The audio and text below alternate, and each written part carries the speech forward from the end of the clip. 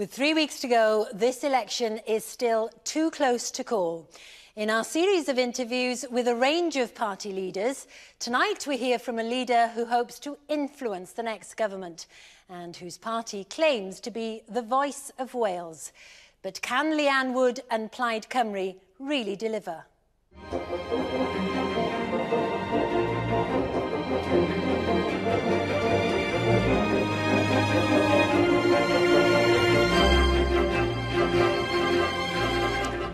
Good evening, Leanne Wood, and thank you very much for joining us. This election campaign is bigger than ever before, on a bigger stage for Plaid Cymru.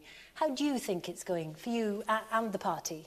I think it's going well. The leaders' debates have given us a platform that we've never had before to speak to millions uh, of viewers, not just in Wales, but right throughout these islands. And I've been glad to have the opportunity in order to explain to people our platform of policies because there are a range of policies in our manifesto that uh, were we to have an influence in the scenario uh, of holding the balance of power would benefit communities in parts of the UK outside of Wales yeah. as well. And we'll come on to those policies uh, in the manifesto here.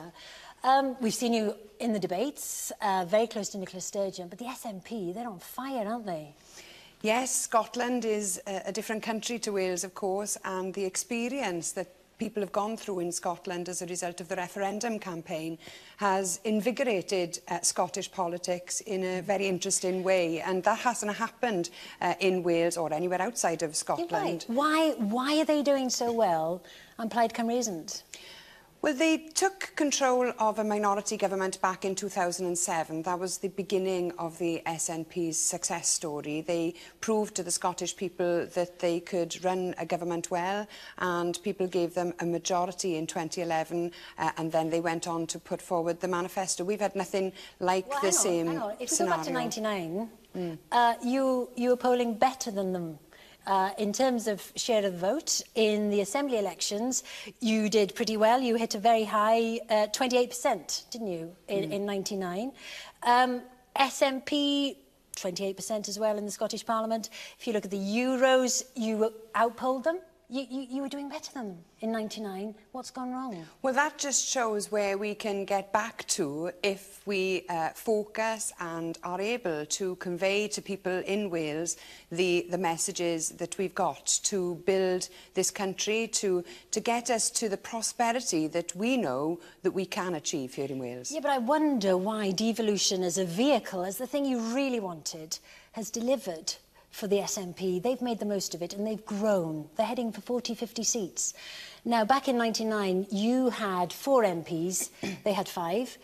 You might have three this time. You might be lucky to keep, the, keep those three. You might have four. They're looking at 40, 50 you know, devolution has delivered for them. It hasn't, you've gone backwards. Well, I think it's the referendum campaign that's marked the big change in Scottish politics. They had six MPs mm. after the last election. Well, all driven by is... the SNP. Well, uh, well, of course, you're right. But the fact that people have been... Uh, there's been a democratic revolution, effectively, in Scotland. People are engaged to uh, an extraordinary level. And people are really keen to ensure that they get a say in shaping the way that their society is run. And the referendum campaign opened the door to that. And that feeling hasn't gone away. Now, what I want to do is get Wales into the same place. Now, I'm not saying that we can do that tomorrow. There are grave mm. challenges in our economy which we have to put right and show people in Wales that we can put it right. But I really do believe that here in Wales we could have a similar conversation about where we want to go and when we do that we'll see similar levels of engagement among people here too. But what I'm trying to get at is that they've built on it. They've got the momentum going uh, from devolution uh, as the party of independence. That's mm. what they are. It's very clear. Plaid Cymru, perhaps, in your narrative, Plaid Cymru is maybe the party of dependence. You want more money from England, you want more money from Europe. It's all about the dependency culture. It's not about standing on our own two feet. You haven't built that narrative, have you, as a party? It is absolutely about getting to the point where we can stand on our own two feet and ending once and for all our dependence. I don't want Wales to be reliant on handouts from Brussels or from London, but we've been disadvantaged financially for such a long time. Ever since the Barnett formula was invented, we've been disadvantaged year on year. Now, in order to get to that point of being able to stand on our own two feet, that's going to be very difficult if our financial disadvantage continues. And that's why we're calling for parity with Scotland, not just in terms of resources, but also in terms of powers, so that we can end our third-rate devolution settlement uh, and get on the road to turning turning our economy round using the powers uh, under uh, the devolved system in order to do that. Yeah, parity with Scotland, that is your big mantra, isn't it? And yet they put so much more into the coffers in terms of their tax take than we do. So why should Wales have as much as Scotland? They put in much more in terms of the percentage than we do. But that's got nothing to do with the way in which the Barnett formula is formulated or the way in which Wales gets its money.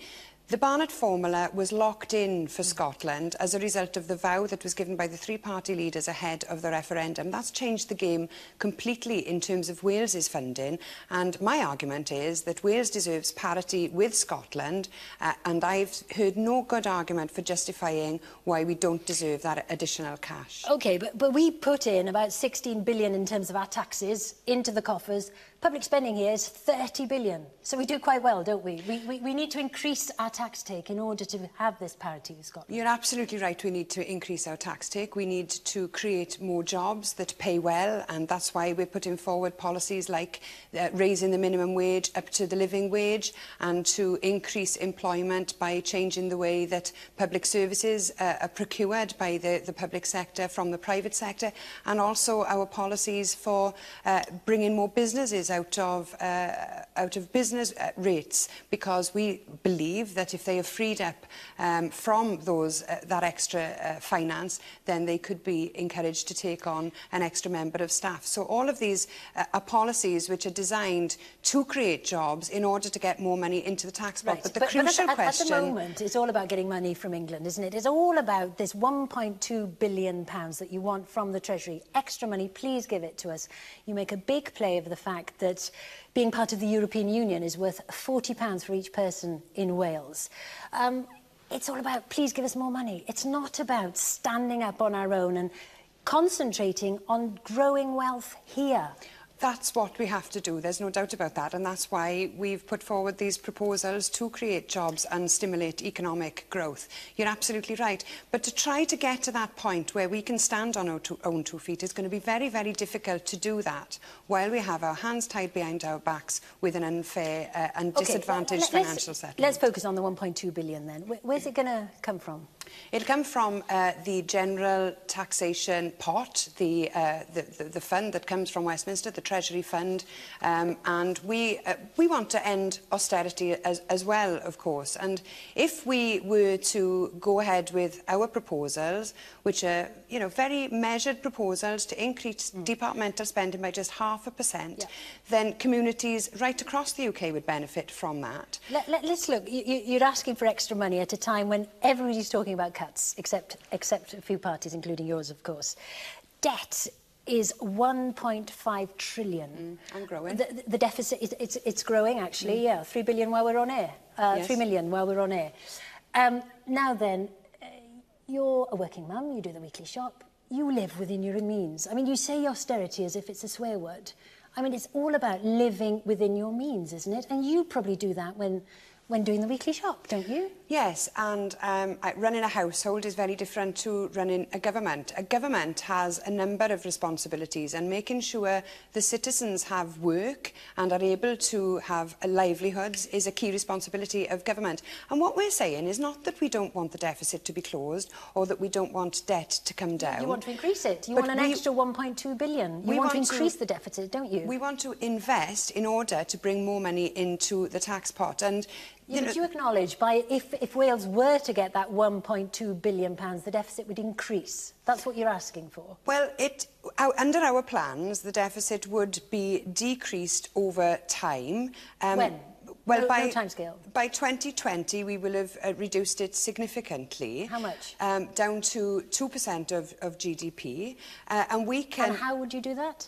Well, by, um, by making cuts and raising taxes um, from uh, from people who can afford to pay them. At yeah, the moment... But th that's not enough to close the deficit, is it? Well, we could... We 90 could raise, billion we're talking about. Well, we could raise uh, 10 billion pounds by changing national income contributions so that those who pay the most pay at the same level of basic rate taxpayers. We could raise another £10 billion pounds by removing the uh, tax relief on the higher rate pensions. We could raise billions by scrapping the trident replacement system and by re-employing those well, how much, HMRC how much exactly, staff but, Yeah, with, with Trident, we, we, you, you often mention Trident 100 billion, but it's over 30 years, isn't mm. it? Hmm. We're talking 3 billion a year here.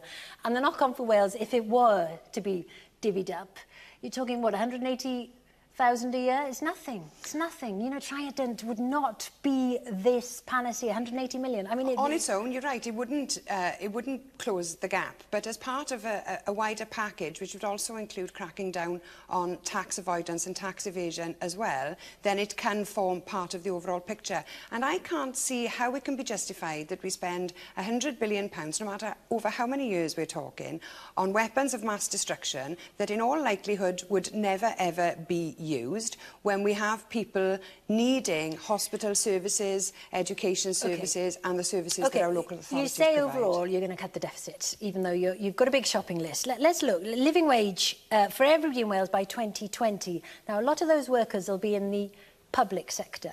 How much would that cost? Well, if everybody was to have the living wage, it would take uh, a quarter of a million Welsh workers out of poverty wages, and it would actually raise more money into the tax pot. And let me explain why. Because, first of all, the in-work benefits that people claim because of poverty wages would no longer be, need to be paid out. And the tax, additional tax take from people earning more money, it would raise around two, between two and three billion okay. pounds a year. So the living wage is something that would actually benefit the Treasury. OK. Um, you also talk in your manifesto about an extra year of schooling for three to four-year-olds. How much would that cost? In a region of about 150 million pounds uh, is the cost of that and that would have to come out of the Welsh budget and of course we've seen a 10% cut to the Welsh budget and it was interesting uh, just last night on the televised debates I challenged the leader of the opposition to um, pass an emergency budget to end the Tory cuts that are planned for this current uh, financial year. That means about a 2 million, 200 million pounds cut to the Assembly budget. Now, if th that emergency budget were to be passed, then there would be uh, extra cash to the Assembly for these all-important priorities like childcare, which of course have an economic impact as well. Right, you scrap the bedroom tax, 470 million that would cost for the UK, wouldn't it? Yeah, it's about um, 10 million for Wales. Right. Um, you wouldn't raise the pension age. How much would that cost? Um, well, our living pension proposals would cost in the region of about £10 million pounds, and uh, they would be paid for by cutting the tax rate uh, to uh, higher earner pensioners yeah, you're, you're that I mentioned You're spending a lot earlier. of money here, aren't you? And, and you're promising to get the deficit down by 2020? Well, What, what we're doing is talking about investing to raise more money into the tax pot. Now, Uh, Nobel Prize winning economist Paul Krugman has talked about the UK being obsessed with the elimination of the deficit, while studies show that for every pound that you spend in terms of infrastructure investment, three pounds is brought back right. into the economy.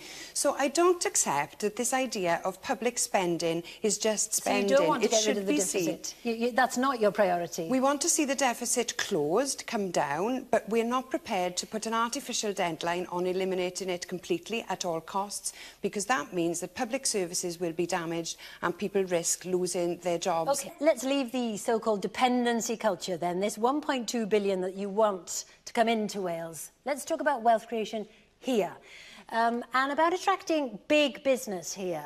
Um, are you comfortable